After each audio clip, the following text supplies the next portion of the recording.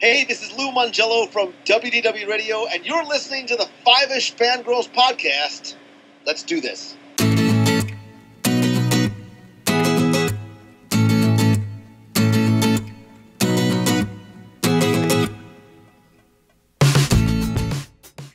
The tangents this week continue all the way to episode 402 of the Five Ish Fangirls podcast, and I'm the newest dwarf on the block.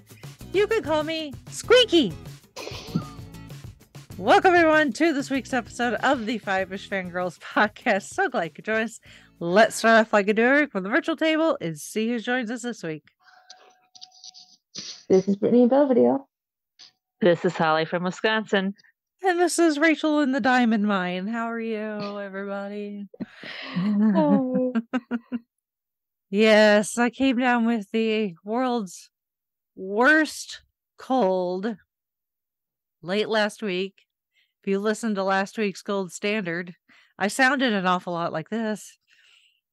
And it's uh, and I thought that that's as bad as worse as it was as bad as it was going to get. Oh no. Oh no, by Friday morning it was it was everything. It was coughing. It was a runny nose. It was body aches. It was everything. And I was just miserable. But I've gotten over the worst of it. Problem is with all the coughing, my poor throat has been ravaged. And Like- it's protesting. Like seven dwarves have gone after it with their pickaxes. So at the moment, I sound like I have not gone through puberty yet. which I have, I promise. Um, be really weird if I hadn't.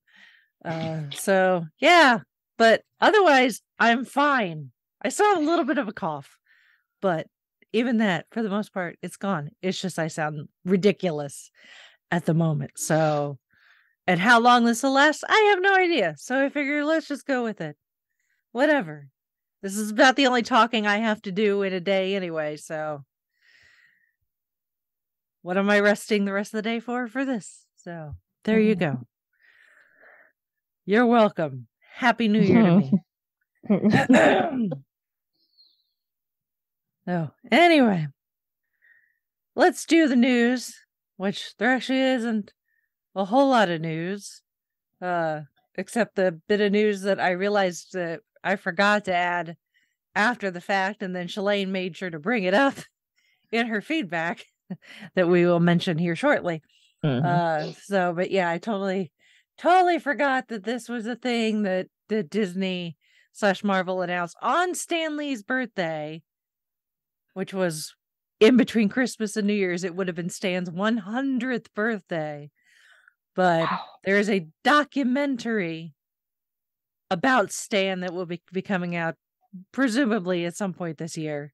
When we do not know, but uh, yeah, so we're getting a I guess, comprehensive Stan Lee document. I'm sure we'll see a lot of familiar faces in this documentary and hear a lot of stories that we've probably heard before. But hey, you know, it's Stan the Man. Why not? I mean, 100 years.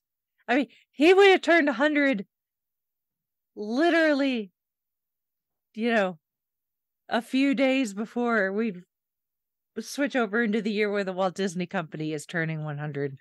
So, Wow. yeah, that says something about the Mhm, folks of that generation. Stan, Walt, it's all mhm. good. So, Yep. but yeah, I guess we'll have to wait and see more details as they are announced. So, um, but other than that, uh, housekeeping, like I said, newest episode of Gold Standard out in the feeds. You can listen to our review of Forrest Gump, Yay. where I sound like this the entire time. And Rachel, you know what? I'm going to uh take over feedback for you to save your voice a little bit here. if Okay. that sounds okay with well, and you. thankful, thankfully, Shalane's feedback is fairly short. Unlike the feedback from Aaron, I got to read on Gold Standard. Oh boy. I'm just teasing Aaron. We appreciate your we appreciate your long feedback wherever you may send it, whichever show. we appreciate the the support. The fact that you take the time to write such long feedback is uh, it's a, it's a good thing. So, Mm-hmm. but anyway, what, yeah, okay. we got feedback from Uh, Shalane. Yes, we did. So from Shalane, she says, Happy New Year's, ladies. I thought you girls were going to kick off the new year by going back to your review of the 2022 episode. No, we don't need to relive that. No, sometimes those years in review, the past couple of years, they were like, yeah, Yeah. no, no. Let let's salt and burn and start fresh and sage, shall we?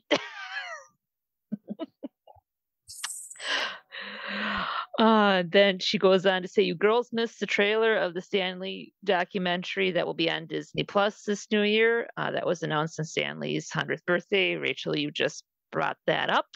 Mhm.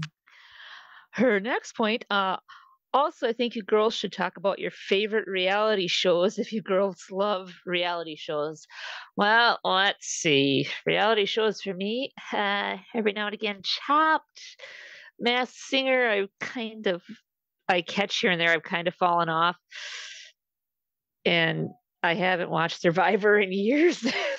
I don't watch reality shows. so I barely That's watch kind of the regular TV as it is. reality so. shows. Yeah, I I occasionally watch competition shows. That's the, Mhm. closest reality I get to. Yeah, yeah. Uh, her next bit is uh, with our actors in the hat that we pulled.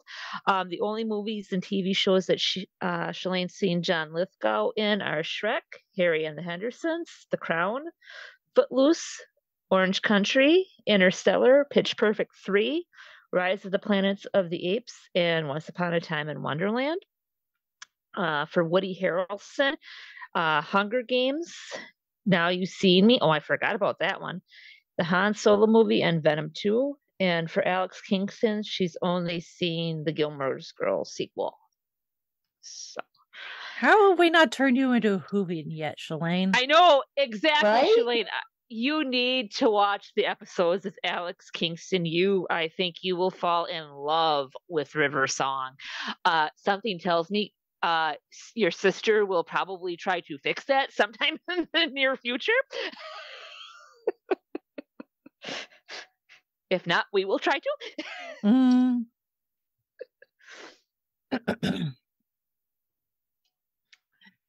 So, thank you so much, Shalane, for your feedback. It's always appreciated. hmm So. Well, this week we are going to do something we've done a few times already because it just so happens that over the holiday break, although technically it was before Christmas because it premiered on December 21st, but still, uh, recently was the 85th anniversary of the release of Walt Disney's Snow White and the Seven Dwarfs, which is always, you know, it's obviously a very important film, which we'll get into. Um, very important, not just, you know, very important for the film industry and Hollywood, but obviously also very important for the Walt Disney Company because without Snow White, really, uh, I don't think we'd be celebrating 100 years of the Walt Disney Company now. I think you are right, Rachel. I think you are absolutely right. Yeah. It's it's only I think it's only appropriate with the 85th anniversary and now Disney's kicking off the you know the the the whatever 100 years it's not platinum uh you know super duper 100th anniversary you know celebration this year that we should talk about the the OG Disney princess the one that helped start it all with Snow White um of course like most fairy tales and princesses that we've talked about this point because we've done Beauty and the Beast and Mulan right is it only the two so far I think so. yeah. Um Yeah. That uh the the the history of the and the story and origins of these princesses goes way before Walt and his animators got their hands on said stories. Um so um and of course Snow White uh comes from well most people most i'm doing big air quotes here most people agree that the snow white that most people again air quotes recognize elements wise again belongs to the grimm brothers. Mhm. uh we get a lot of our the disney fairy tales can be traced back to the grimm brothers stories. There are some stories that have one or two elements that we might recognize as snow whitish Three grimm brothers even going back to like the 1600s um but most people agree that it's the Grimm brothers because that's got the most components that most Mhm. people will recognize. Um, of course, even then, things have changed over time. Even the Grimm brothers version changed over time. Their version of Snow White was first published in their first book of fairy tales in 1812, but that story kept getting revised and had its final revision published in 1854. So wow. even the Grimm Brothers Snow White was revised over and over again over the course of more than 40 years. so, but again, a lot of the things that we recognize are part of it. Um, obviously, the Disney version extremely sanitized, although, as far as some of the other fairy tales that we've talked about and the ones that we will in the future, um, we're looking to you, Cinderella, and uh, although and the Little Mermaid, although the Little Mermaid's not the Grimm brothers, that's Hans Christian Andersen, but still, um, some of Mhm. the other Disney princesses who we've not gotten into yet, their origin stories are very, very dark. And don't necessarily have the happiest endings. Again, I'm looking at you, Little Mermaid. Uh, yep. Um, this one has a happy ending, actually, even the Grimm brothers, although it takes a bit more to get there. Um, again, depending on which version you read, but the the idea is that once upon a time, you know, there was a woman, she was a queen, uh, she was sitting uh in her castle one day in wintertime, sewing while looking out the window and she accidentally pricks herself with her needle and some blots uh some droplets of blood fall onto the snow that's on the windowsill. And she looks at it and she's like oh i wish i had a daughter whose you know lips were as red as the as the blood from my fingers and skin as white as the snow and black as the the the stone that create you know that creates this window.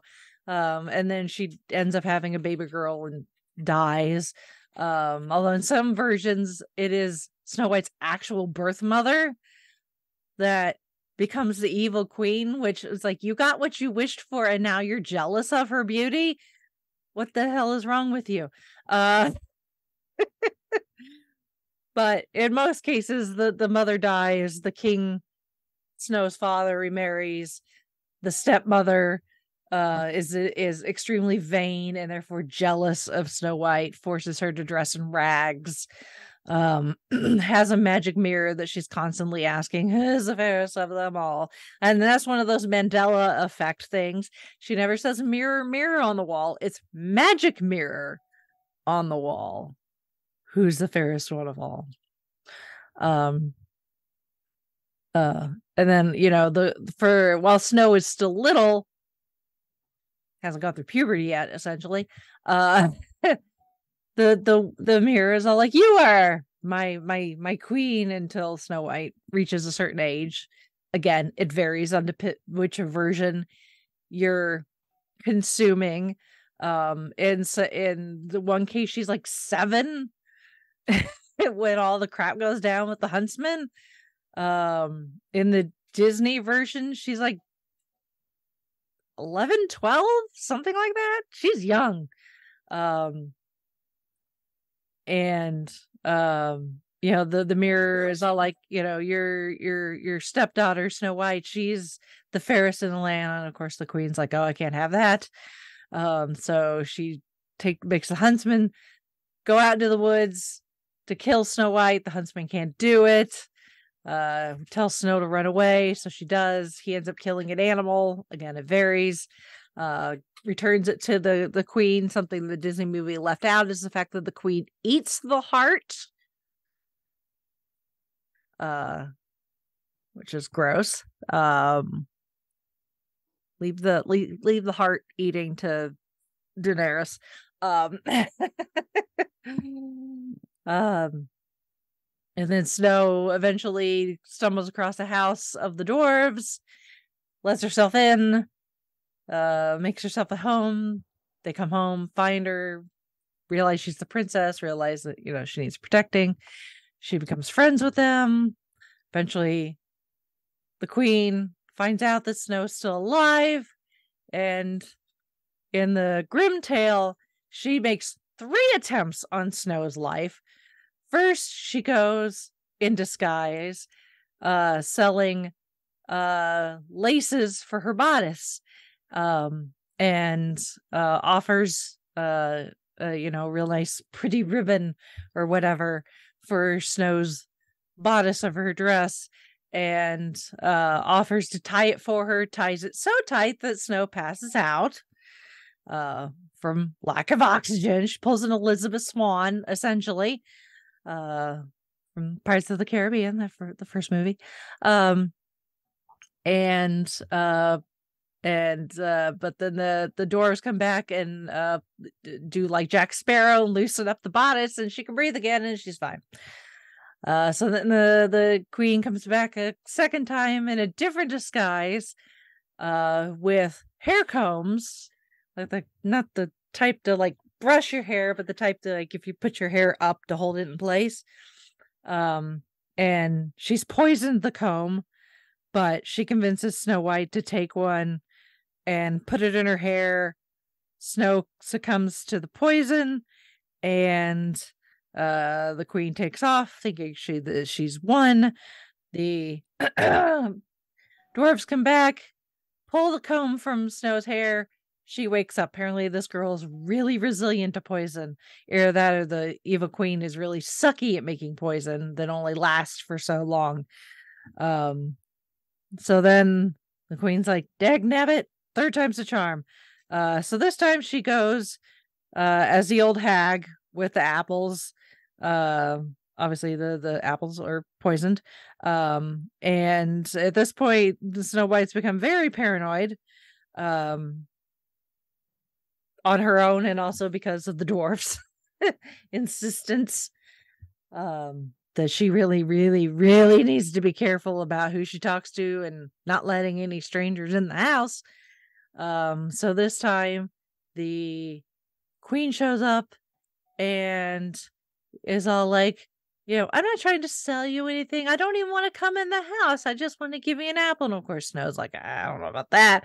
Um, and the, the queen, you know, the, the queen in disguises are like, oh, dearie, don't worry about it. Look, I'll even take a bite of the apple too.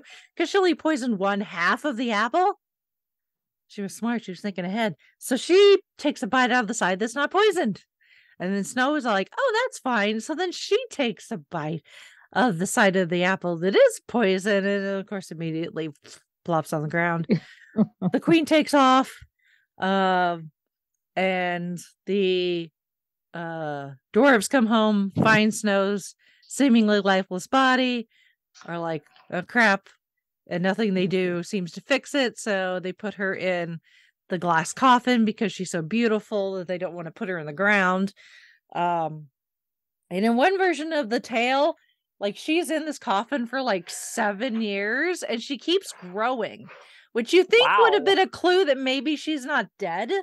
So then they have some... to keep making her a new coffin to like some sort of suspended animation. yeah apparently that's not a thing that the dwarves are aware of um even though they, you know they got magic witches and and stuff um, or for D and D players in extended rested repose. yeah exactly. Exactly. So yeah she keeps growing so they have to keep making her bigger glass coffins. Um and eventually the prince shows up and he's all like oh she's the most beautiful woman i've ever seen. Please let me buy her. And the dwarves are like no we're not gonna let you buy her Buy you her." Um and the and the prince is like oh, okay so he comes back like the next day and he's all like can i just have her and the dwarves are like oh that's okay because apparently you know buying her was too weird but he can just have her Consent, And- not a thing back then. I'm guessing. i guess so um again it's these not the- like we have that grand opening scene from Once Upon a Time with Prince Charming barreling on that white horse Mhm, exactly to come to the rescue. Yeah. So apparently this time the dwarves are like, "Oh no, that's okay. You can just have her if you want." Uh so the prince is like, "Sweet." So he takes her back to his castle um and continues to watch over her seemingly dead body. Um and apparently uh like it totally consumes him and all of his like servants in his castle trying to, you know, keep this this dead woman's body like pristine you know make sure the glass is shiny you know you doesn't have any fingerprints on it and make sure the gold of the coffin is all shiny and that sort of thing. Um until one it again varies from version. In one version one of his servants gets so like pissed off that they're being forced to work to like keep this coffin pristine for this dead body that he takes Snow White's body out of the coffin and starts like messing with it like she's a giant like rag doll or something and that forces the bit of apple out of her throat. And Ah. she's and she's suddenly awake again. In another version when the prince has taken possession of her while they're traveling to his castle one of the servants helping carry the casket stumbles and that causes the piece of poison apple to dislodge from her throat and suddenly she's alive. Either way she she did she even wasn't she was choking but also poisoned but again the queen's poison can't be that good a poison if all you need to do is remove it so it's no longer touching your victim's body and they're perfectly fine? I don't know. Um they i guess they did not know how well poison worked in the 1800s i have no idea. But either way snow white's awake. The prince is absolutely thrilled. So like yay let's get married. Um and so they immediately plan their wedding and uh for some reason this entire time however long it's been again whichever version you're reading it could have been weeks it could have been years uh apparently this entire time the queen has been convinced that she was successful this time and has not been consulting the magic mirror but it just so happens the day of snow white's wedding she decides she needs to ask the mirror who's the fairest of them all. And the mirror's like the prince's bride. Um the the the woman that the prince is about to marry is the fairest of the land but the mirror does not know that that's snow white and neither is queen. Uh they just know that there's now this new this new chick in town that apparently is Mhm. super hot hotter than the queen. And the queen was like well i can't have this. I need to find out who this hot new hot chick is. So And take She up the sneaks up- competition. Yeah, so she sneaks over to the prince's castle as the wedding's going on. You know, the wedding ceremony's about to start, and sees that it's Snow White, and she's like, "Well, screw this! I'm just gonna strangle her or whatever." So she goes, she goes after Snow White, and of course the prince is all like, oh Uh, no, he's you like- don't. yeah, he's like, uh, no, you don't. So the the evil queen is immediately captured, um, and as punishment for trying to kill Snow White so many times, uh, they have uh shoes made for her out of hot, red hot iron Mm-hmm. that are forced that she's forced to wear and dance until she drops over dead. Uh-huh. And then when she's dropped over dead, then he and Snow White get married and live happily ever after. Yep. That is essentially the Grimm brothers version of Snow White and the Seven Dwarfs. Mm-hmm. Way different. so you can see why Disney sanitized. oh yeah, because you try to see Disney trying to explain this to the board and like, uh, Yeah. yeah, Yeah. yeah, Yeah.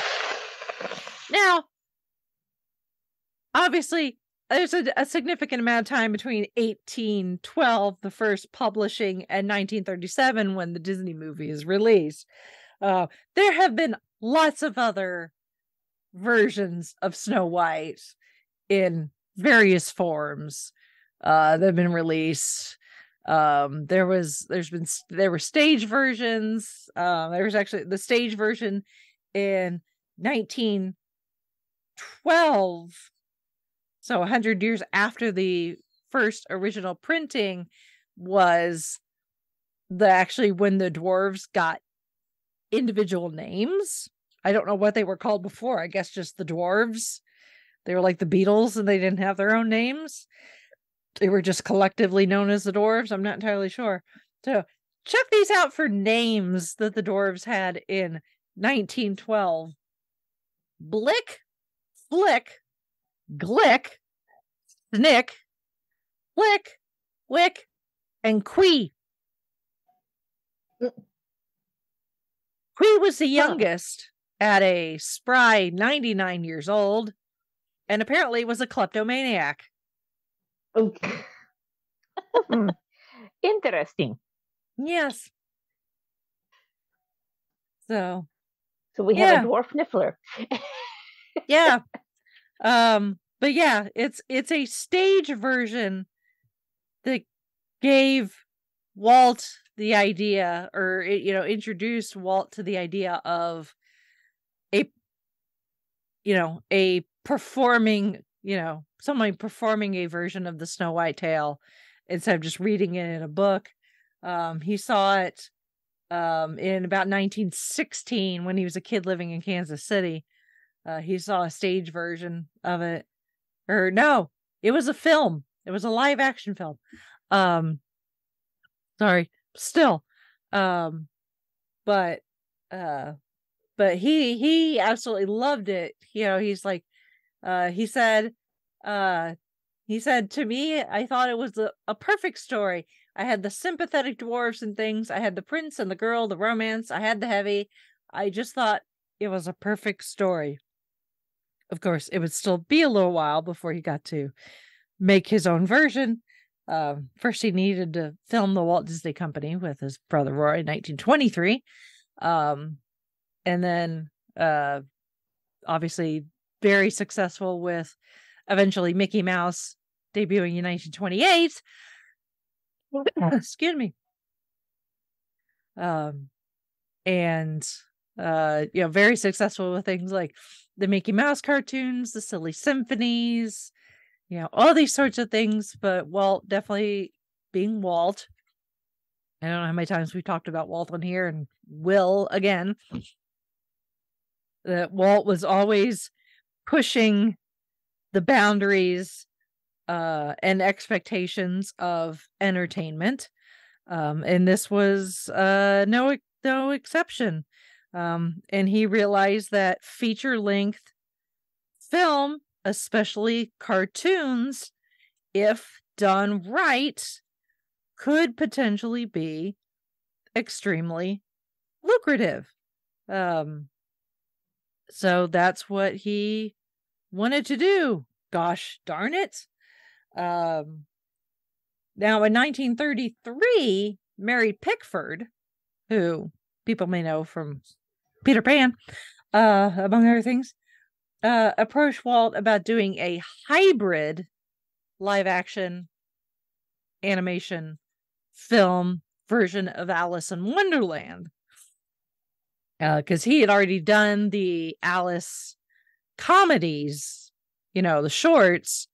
So he had already proven he could do the combination of live action and animation. but unfortunately, uh Pair was a Paramount? Yeah, Paramount already had a Alice in Wonderland film in production. So they scrapped that.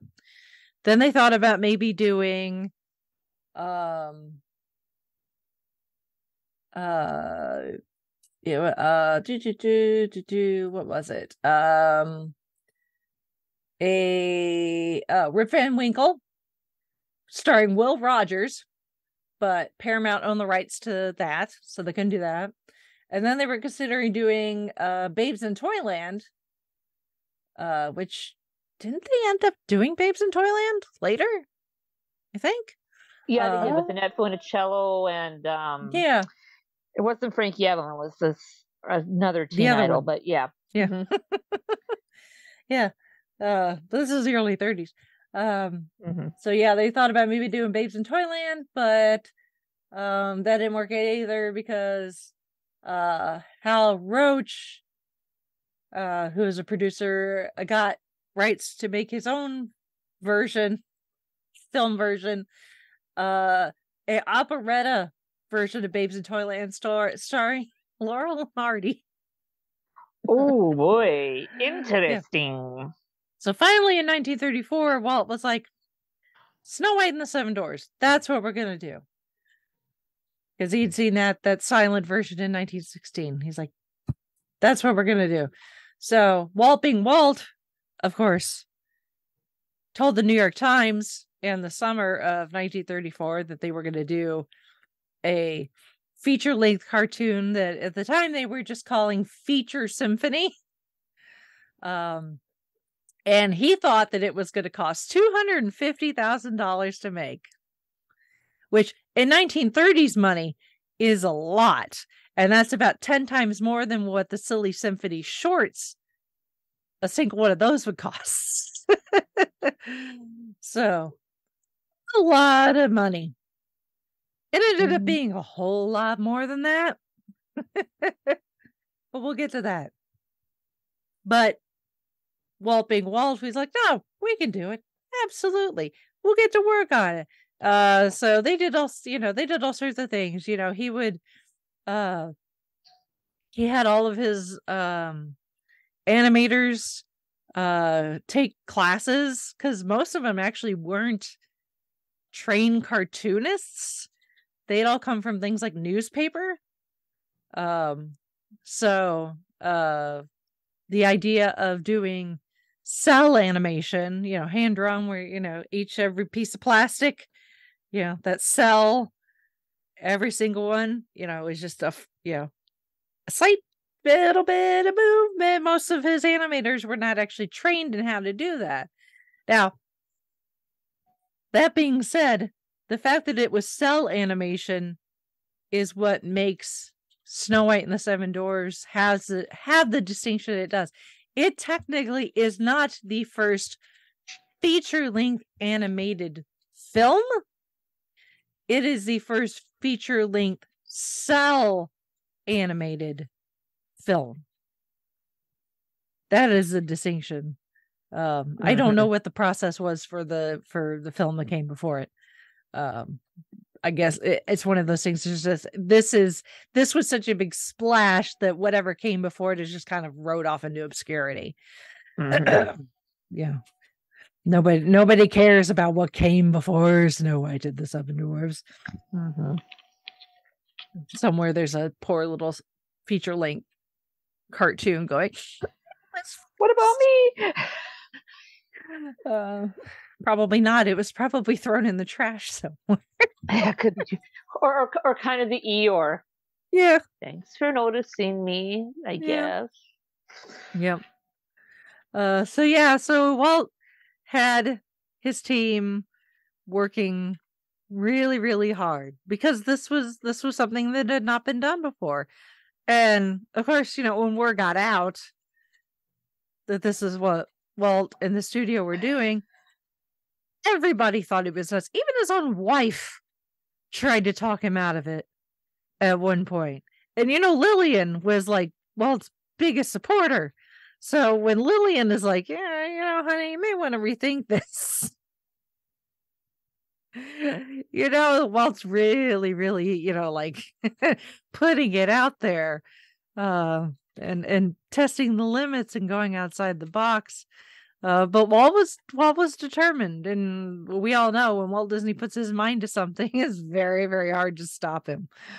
Uh, so, uh, you know, so he made his his cart, you know, his his animators uh take lessons uh you know he they would have nights where uh you know they would have the the storyboard up on the wall and i you know a lot of people have probably seen at least the the little clip of walt acting out the uh a scene with the the witch uh you know the evil queen when she's disguised, as the old hag but walt went through the process of acting out like the entire movie and acting out all the parts for his team so that they would know exactly what he wanted.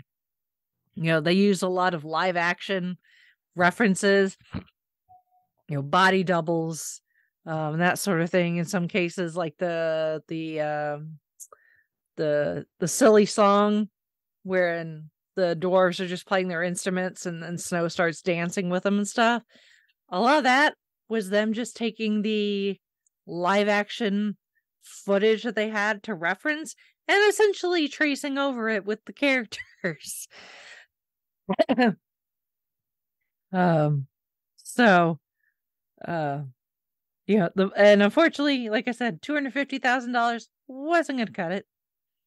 That that that budget blew ballooned super high to the point where walt had mortgage, mortgaged his house. And then that's he had mortgaged like everything he owned. Um and that still wasn't enough uh so he ended up having to go to the bank to try to get a loan for $250,000 um and they had enough of the movie like in the can as it were Mhm. Yeah, So from what I it- remember of reading, yeah. Yeah, he took it to the bank to show the loan officer, the guy at the bank, what he was working on. And when he showed it to the guy at the bank, the guy the guy at the bank was like, "Dude, you this is going to make bank. Here's your loan. No problem." yeah. that that that meme. Yeah. Shut up. Take the money. Yeah, really. It's like shut up and take this money. Finish this finish this movie, Dag Nabbit. It's going to be Yes. a sensation. Where's Uh, the rest? yes. Yeah. Uh so uh so yeah, they, they did finish the movie, obviously, to the tune of almost 1.5 million dollars.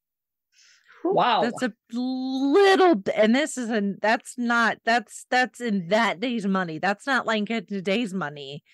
That is in 1930s money.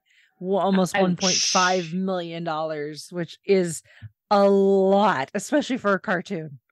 Yeah, I mean, considering 1930s, I don't even want to try to do the conversion to figure out what the heck will be today's money. Yowza! Yeah. Yowza! Yeah.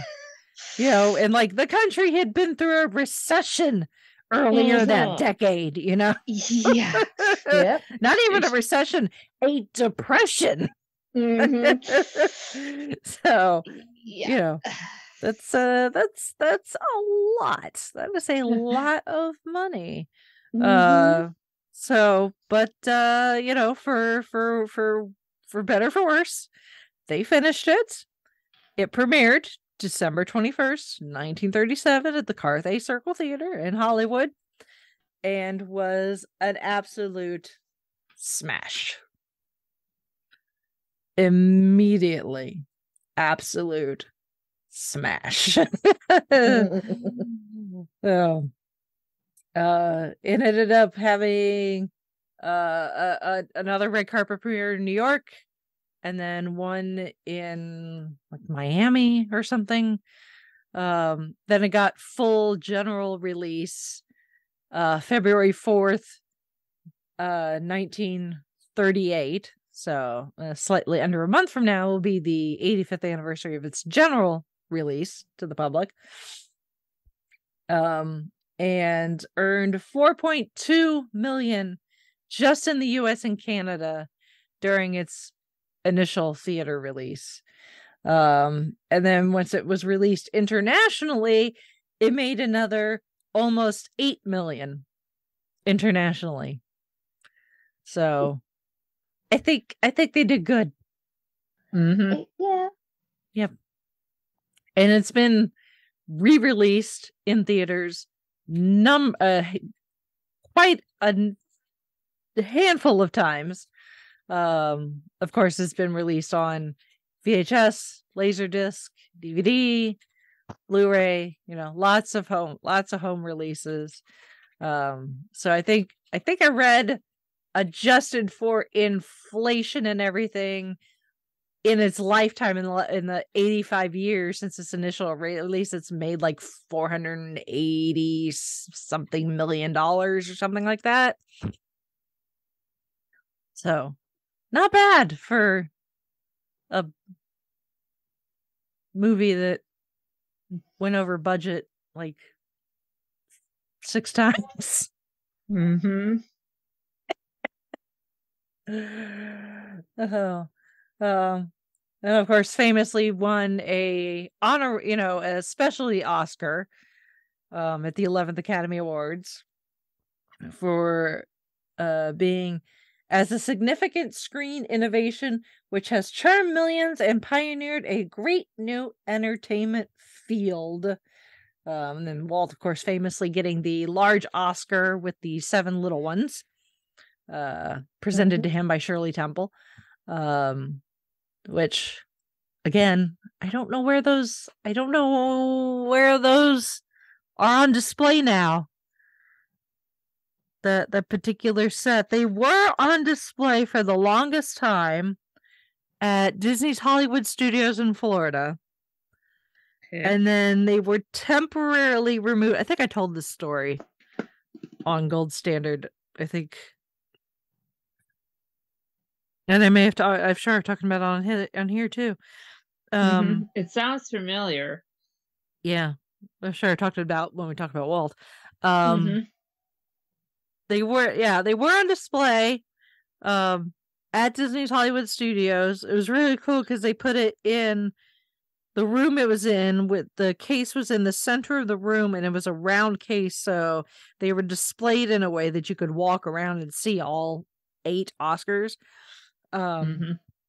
the big one and then the seven little ones um and then they took them out temporarily to give them to loan them to the movie production side of it so that they could be on display in Walt's office in Saving Mr. Banks, Mhm. I believe is where they could be seen. That Um sounds right. and then presumably they went back but then i have not been to the studio since 2017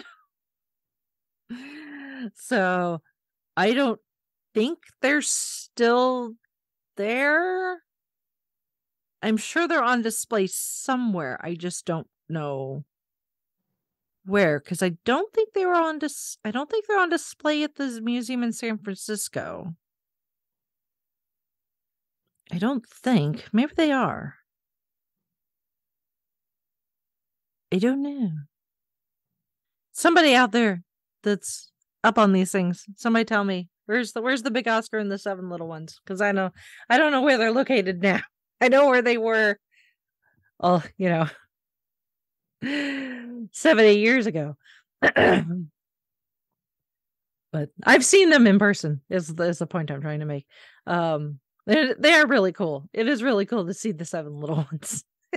Just think that the Academy was all like, what if we made a big one and the seven little ones? That would be really catchy and chi- you know chintzy and people would go oh isn't that sweet and how unique and how original. No one else will ever have anything like that. Yeah no snow white should have won. Mhm. the academy award for best picture that year. It wasn't even nominated um because that was the year that gone with the wind won. I think it should have gone to snow white that's just me. I'm pretty sure i made that argument on gold standard when we talked gone with the wind. Um so but uh so yeah so snow white uh obviously because it was so successful allowed the studio to continue to try new things obviously make way more fairy tales and now we have a whole gamut of disney princesses um it uh, you know it allowed walt to to finance things that maybe at the time weren't financially successful things like fantasia but over time have have come to you know get the recognition that they deserve um I'm not sure exactly how 100% true this is. I kind of did a Google search about the statues. Mhm. According to a Reddit thread in movie details, they believe that the originals are still in San Francisco and that there was a replica of the awards in Orlando.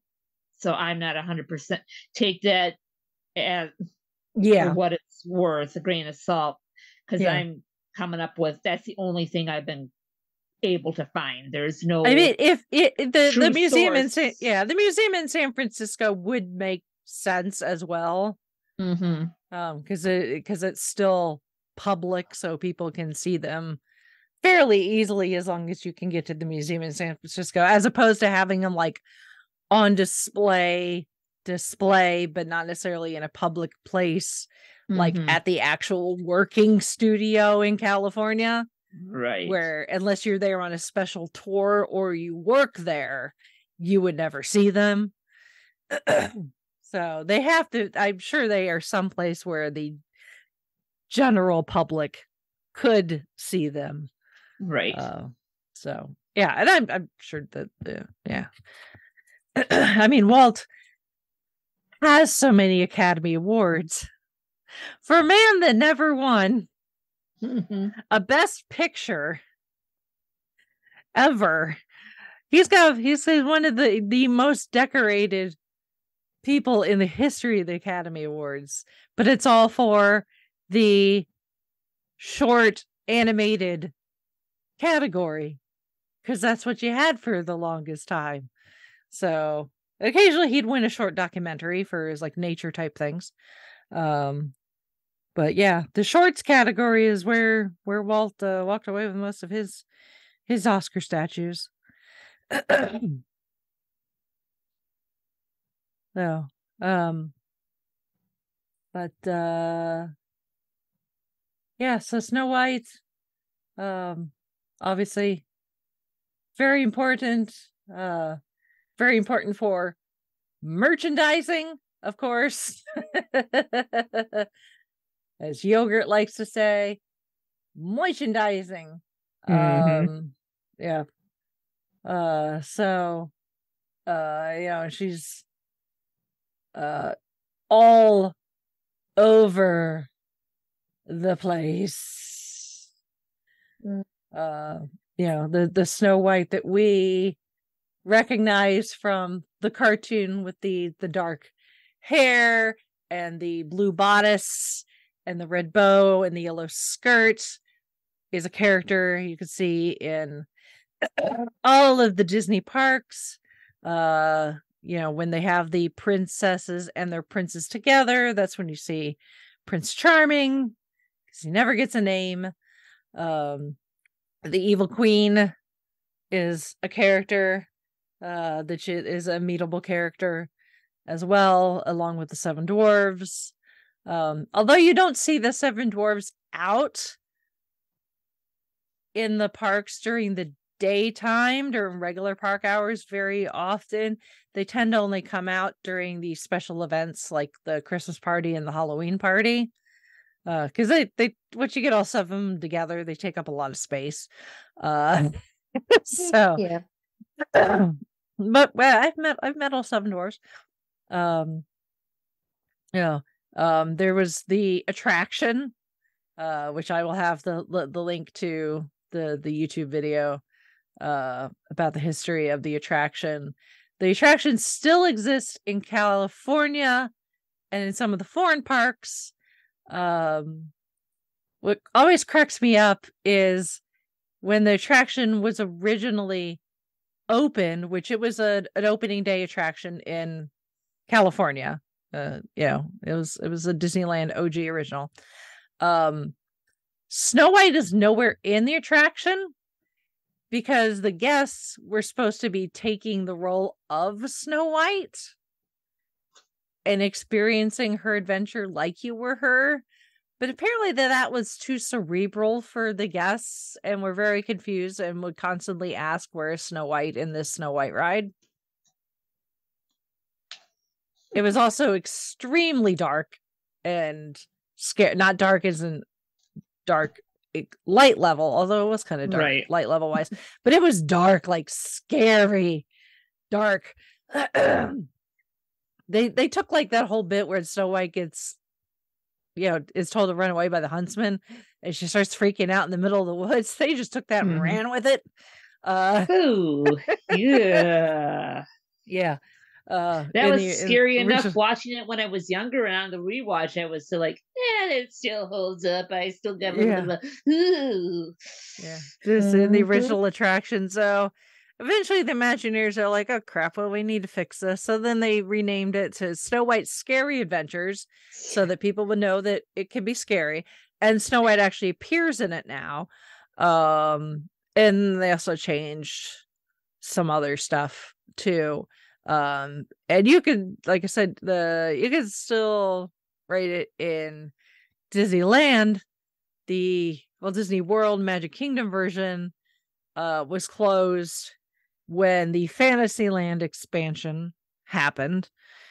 and now we have the Seven Dwarves Mine Train ride, which is really really cool.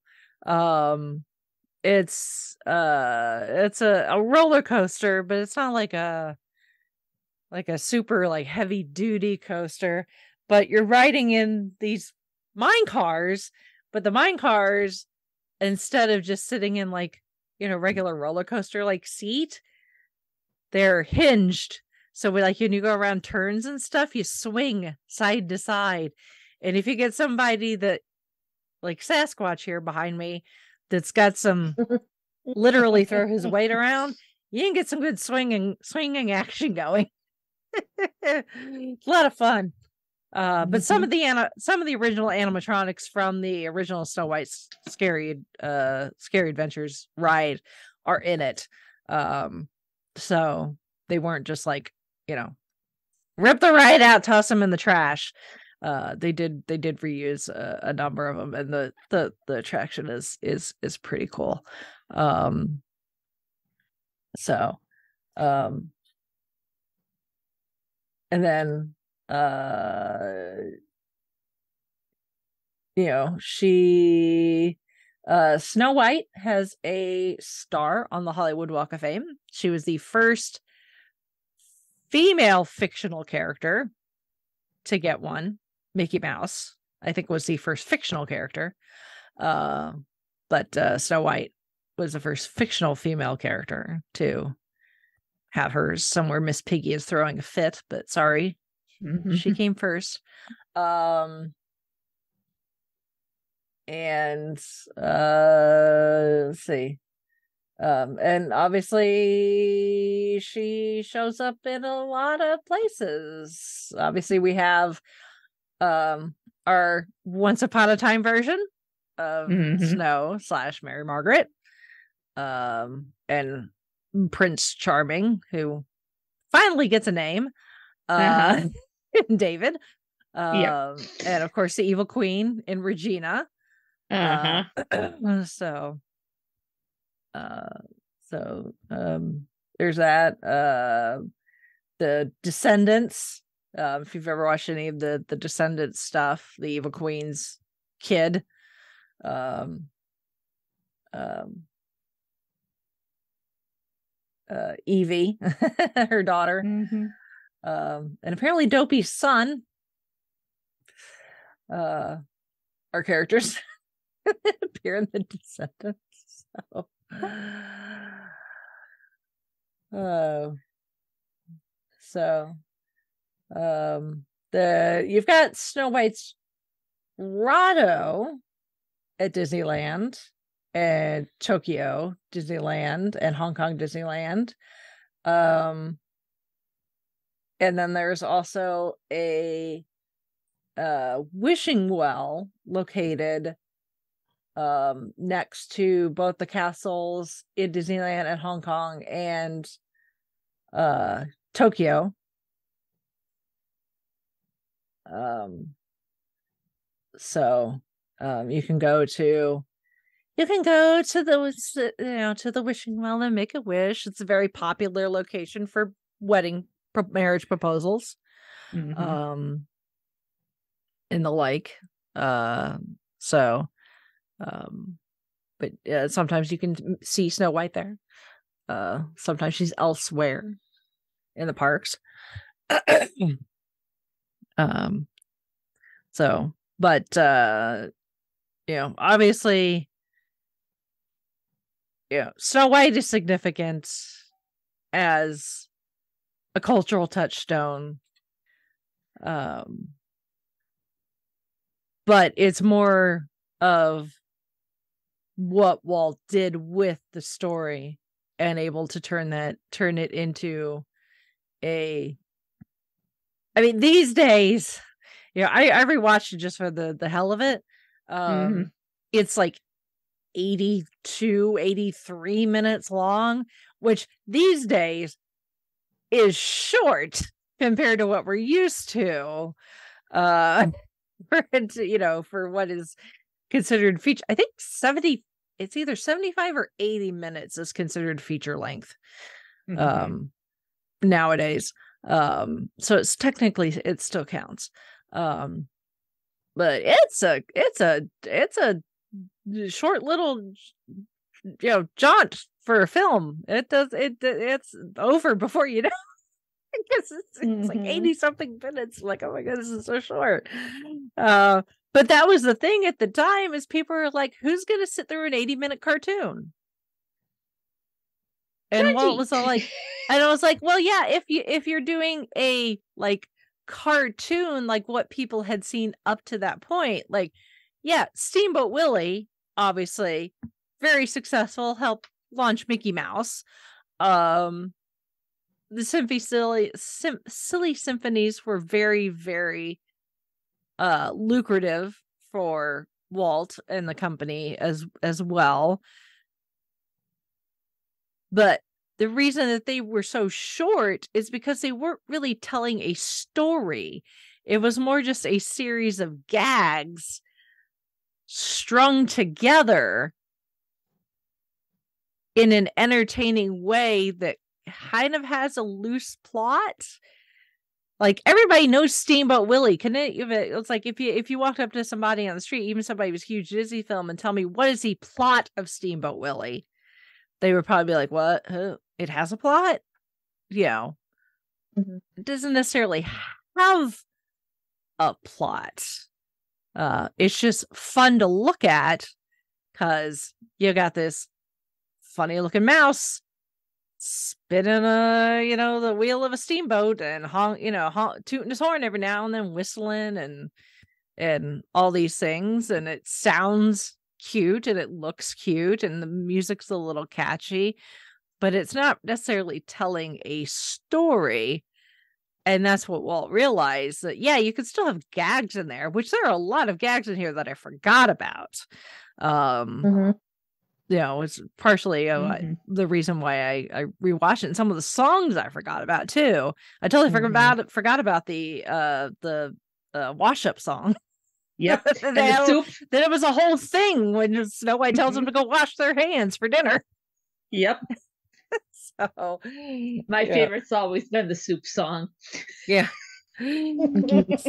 Yeah, so uh but yeah there's all sorts of there's all sorts of, of visual gags most of them are are because of dopey um but you know Mhm. it's it's uh but it also tells a compelling story like i said you know the the bit where snow white is running through the woods scared out of her mind even i mean it's not scary to me now but watching it i'm like damn that's dark Mm-hmm.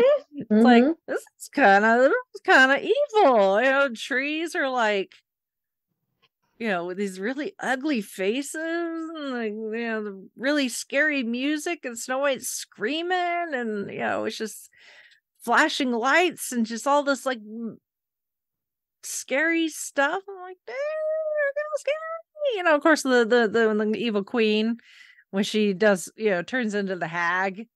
That's like it's also kind of scary too, you know. She's like her hands start getting all wrinkly and her hair's flying all over the place and turning white. She's like, "Ah," Mhm. you know. Uh yeah, so the it's it's uh you know, you got the the love story between Snow White and the the prince who has no name. Um he's just charming. Um I saw I forget I think I may have it linked in the show notes. Um, it- I'll have several different videos linked in the show notes of the origin of the actual Snow White fairy tale and then stuff related to the Disney stuff as well. Um, but somebody, some I forget which video it was, but somebody commented that their head canon, and a lot of people agreed with them, was that we just don't see it, but Snow White and the prince actually already knew each other and had seen each other before in some circumstance that I guess you could build up in your head if you want. Um and they were already in love. So when he shows up when she's singing at the wishing well, she's not scared because oh, there's a strange man who's now like here singing, you know, trying to duet with me, but he's seeing me in my work clothes. Don't look at me. I'm, you know, I'm not dressed up like you like you'd expect me to, and that's why she runs away. Because when like she, it. yeah, because because then it makes more sense when later when the dwarves are like you know tell us the story and she you know she goes to the the you know once there was a princess and they're like oh was the princess you? And she's like yes. And like and there was a prince and they fell in love. Um and what that's also why it's not so weird when he like kisses her and then when she's awake she's like oh darling here let's take off and live happily ever after. Like they just met you know like once before. No they've already known each other but for whatever reason Mhm. Like he's never visited her or something um at, at th- this castle and seen her in the the the rags that her stepmother makes her wear. Yeah. Um and obviously the the the story that they give snow and regina in once upon a time a little different. Mm-hmm. uh so um Just as- as- slightly. just a little. Um still good i mean it's a Oh, good yeah. it's a good take on the it's a good take on the origin Mhm. story Oh yes. um though and and obviously yeah we talked about this we talked about when we talked about enchanted giselle has a lot of uh-huh. uh snow white mannerisms like the Mhm. things she does with her hands and the singing to the animals you know even they have Mhm. a happy cleanup work song yep. uh you know she gets poisoned by an apple Uh-huh. so yeah so it's uh uh yeah, she's the the the the genes the dna of snow white Mhm. are very solidly in Yes. disney and are not going to go anywhere Mhm. anytime soon even as other studios have tried to do their own version like the the the snow white and the huntsman with with uh what's her face from twilight oh um yeah. Uh, Kristen, whatever. Uh, yeah. Yeah. What's her face? Uh it's, uh, is it Kristen Stewart? yes. That sounds Maybe? right. Yeah. Something like that. Um uh yes. Oh, she got it. Woo! Hey, woo! yeah. Um there's a a a um obviously a Snow White's version of the Disney villains book series. Um so um yeah, then then the the uh the the twisted tales, the kind of the Disney princess version of what if, uh which I know Shalane has been trying to get me to read. I will, Shalane. I'm just uh, occupied with other things. Um, but they're they're on my to read list. I, pro- I promise. Um, but in that version, it's what if the evil queen poisoned the prince instead. Um, and of course, there's the live action um film that's due out next year in 2024 um where uh Rachel Zegler um who played Maria in Steven Spielberg's West Side Story. Um is going to be playing Snow White and Gal Gadot. Is going to be playing the evil queen.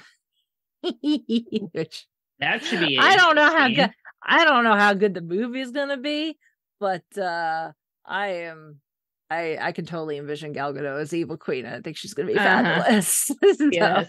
I mean, I I loved her in Wonder Woman, and I'm just like, okay, let let's see how good she can do uh evil here. I'm Right. thinking she can pull it off without a hitch. yeah. Yeah. So um but we'll we'll see to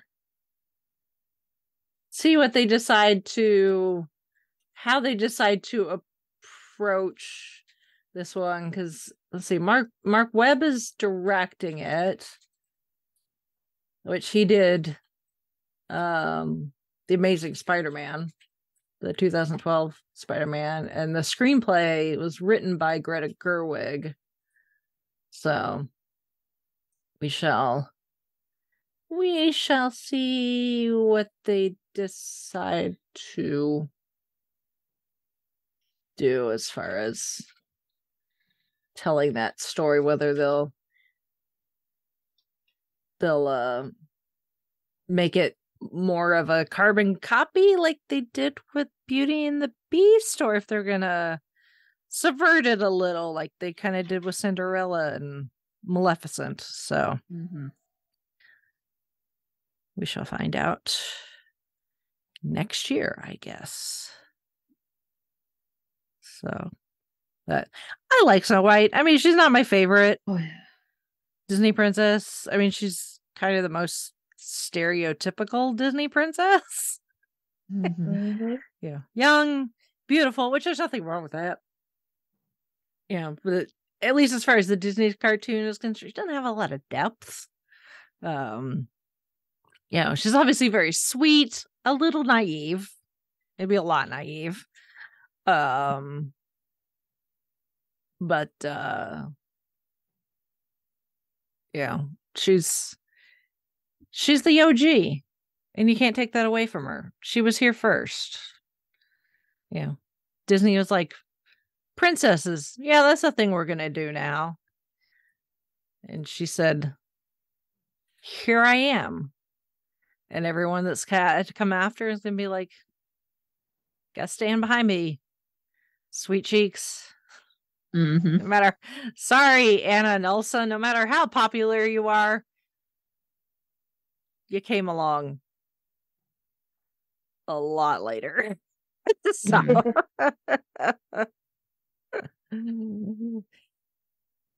people complain about about how much they were like sick of Frozen. Can you imagine being someone who is alive long enough to see like Snow White get re-released in theaters like five times? Mm. Like what? We've seen it. Move Uh-huh. on. Something else. Or, or they, please don't tell me they added anything extra or edited. Nope. Nope. Actually, although Snow White was the first, um,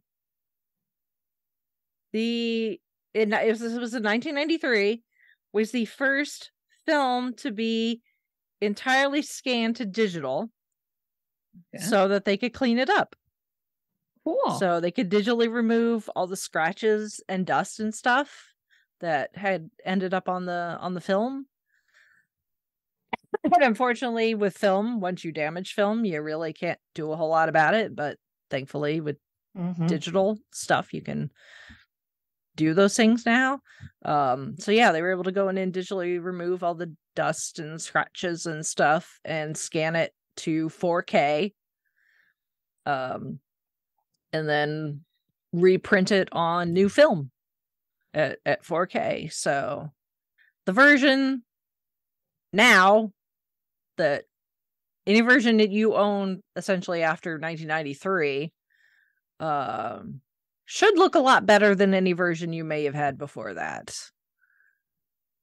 Oh, and of course it's on Disney Plus as well. Right. Um, so, um, and in the extras, there are a couple. There's like a 30 minute like making of documentary, along with a couple of shorter behind the scenes things that are like five or six minutes long, and of course a trailer. And then there's a couple of scenes that never made it into the final movie, like the dwarves building Snow White a bed, apparently. Uh, where they decided that they would just all sleep uh, wherever and she would sleep in their beds. She would just crawl across all of their beds. She did like she was only taking up three when they first showed up. So technically they still would have had four even after she took the three that between the seven of them, they could have arranged something so that, you know, like Grumpy wasn't sleeping in the soup pot, right. you would think. But I guess that wouldn't be nearly as funny as, you know, like the fly coming and landing on like it's Sleepy's nose and curling up in a ball and it starts snoring itself.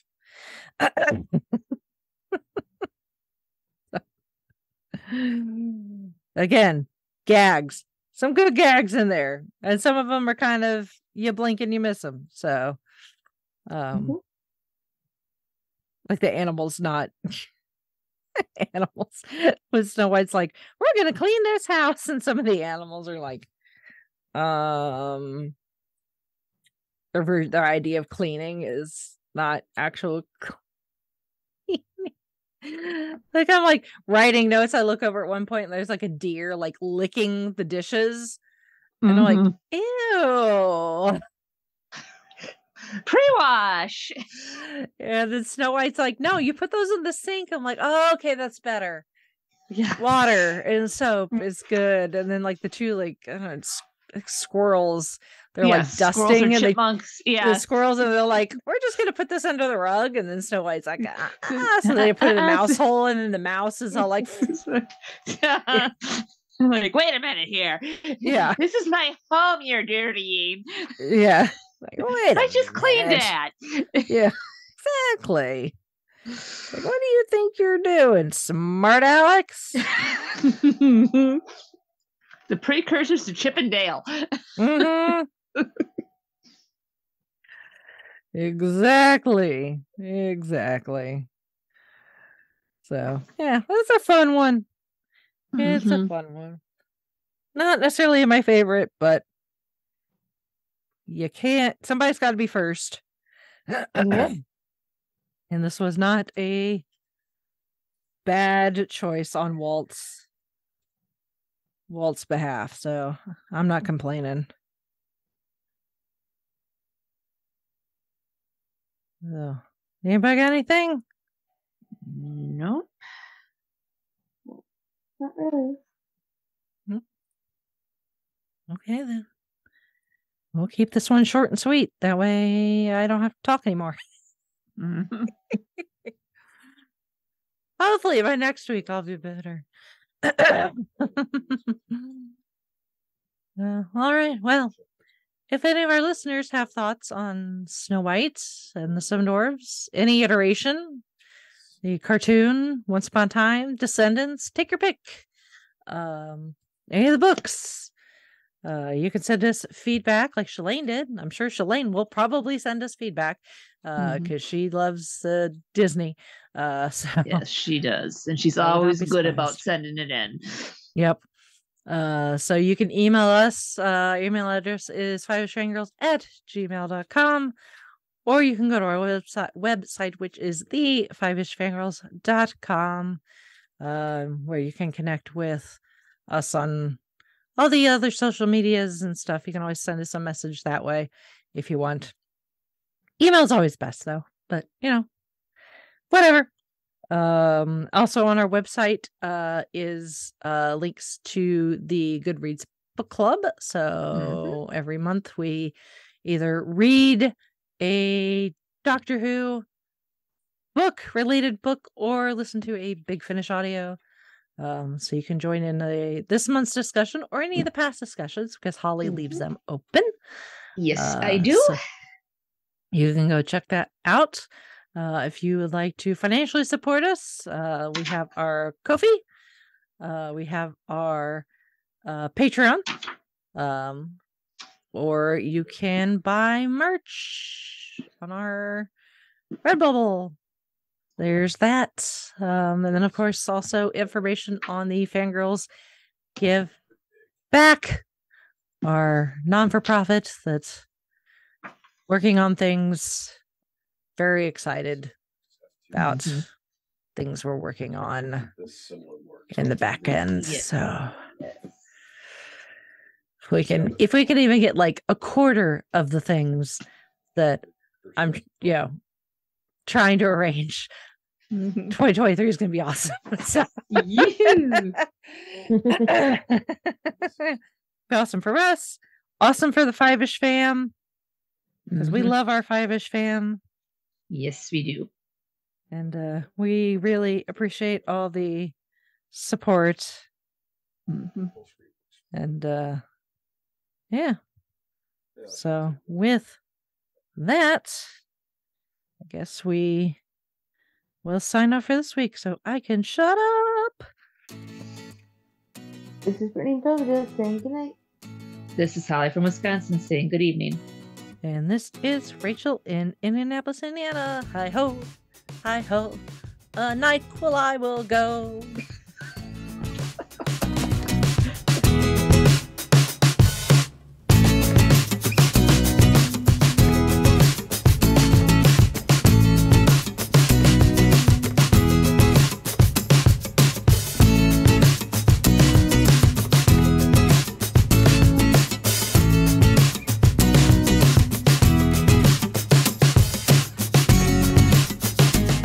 you for listening to the Five Ish Fangirls.